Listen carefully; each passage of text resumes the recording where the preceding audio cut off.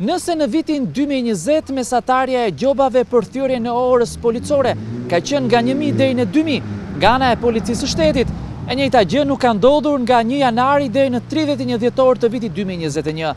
Sipas burimeve nga policia, në total, përgjatë vitit dy mijë e njëzet e një janë vendosur një mijë e nëntëqind e tetëdhjetë e shtatë gjoba.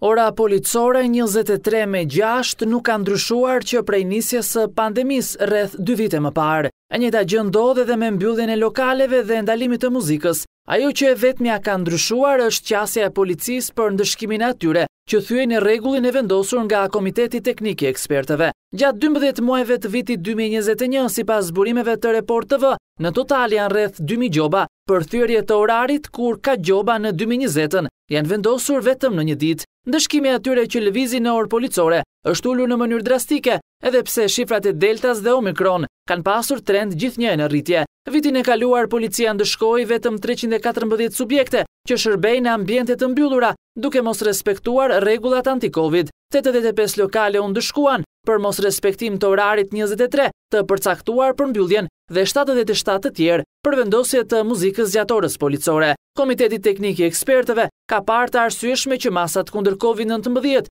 të vijojnë të jenë në fuqi në përpjekje për parandalimin e valës së infektimeve me virusin e rrezikshëm.